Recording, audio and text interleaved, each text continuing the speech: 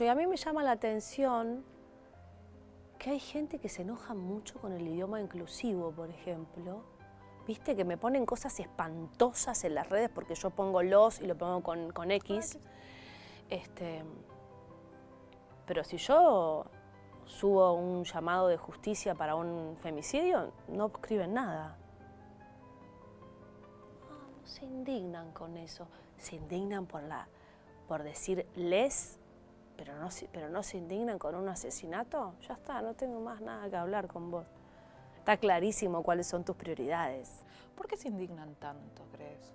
Yo creo que a veces es, no lo sé, la verdad, no tengo todas las respuestas, no, no soy especialista en el tema, la sensación que me da es que a veces es difícil hacerse cargo de,